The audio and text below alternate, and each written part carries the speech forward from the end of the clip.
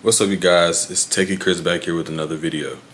So today um, my plan is to give you guys an update of where my home lab stands and kind of where I'm going with it. If you saw my previous videos you would see that I got a couple pieces of equipment um, a couple routers, a couple switches, and I've been planning to upgrade my home lab from where it currently is. So currently right now my home lab consists of one enterprise um, router and a couple of access points, but I have some new switches and a brand new router which I'm going to replace my old router with right now. Let me take you guys out there. Right, so my current router that I'm using for this setup right here is this Cisco 4431 right here. As you guys can hear, it is very loud and makes a lot of noise.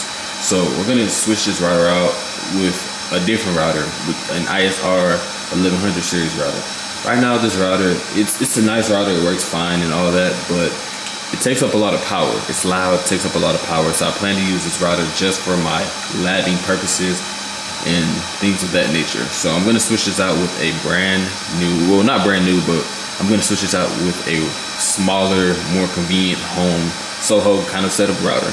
So I'm gonna show you that in a little bit. Um, as you see back there, I have my access point that I'm using. That's one of my access points that I'm using. The other one is inside of my room. But yeah, this router is about to be switched out for the other router. Okay, so we're back in my room. Um, so right now, as you can see, I have actually I'm actually about to start getting this new router right here configured. So I just got this powered on and configured. As you can see, it barely makes any noise. It makes no noise compared to the one that's outside.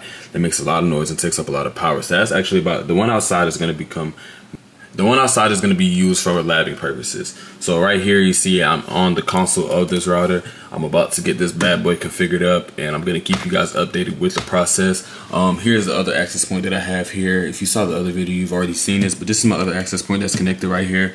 And then what I'm planning to do with the routers. So right here in my room where my TVs are, I have my two switches. So what I'm planning to do is also add that router right here and connect these bad boys up.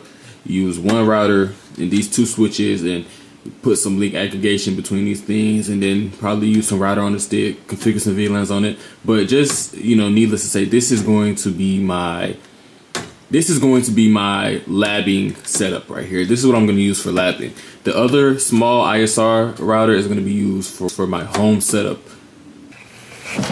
Yeah, so the ISR router is going to be used for my home setup because right now the 4431 is being used for my home setup, but it consumes a lot of power and it's, it's, it's really loud. So yeah, I'm going to get this bad boy configured, going to swap them out and yeah, see you guys in a little bit.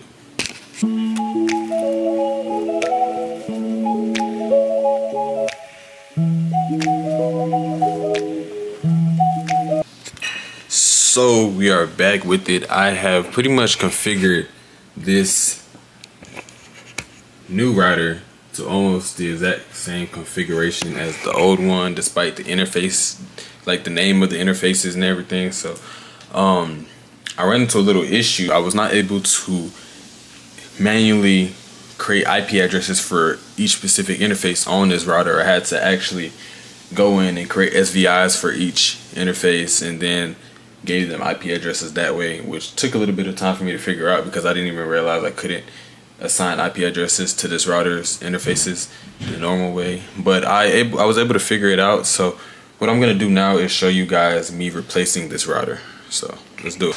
So now I am back out here. Um, I have labeled, you know, my WAN link. I don't know if you can see that. Label my WAN link. Label the data link label my access point link. So I got my three connections on here labeled. So what I'm about to do is just do a swap and replace, drop the new router in here, and we'll go from there.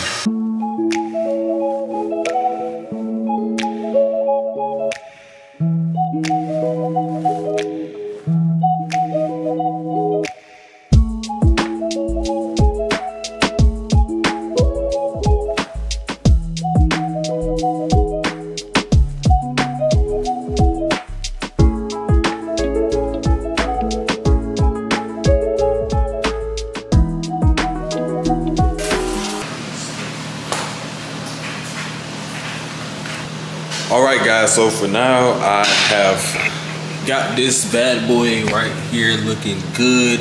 Um, connected to the internet. My access point is working. Um, I'm gonna go ahead and do a couple more checks on my access point is working. My um, all my connections are pretty much working. I'm connected to the internet. My WAN connection is working.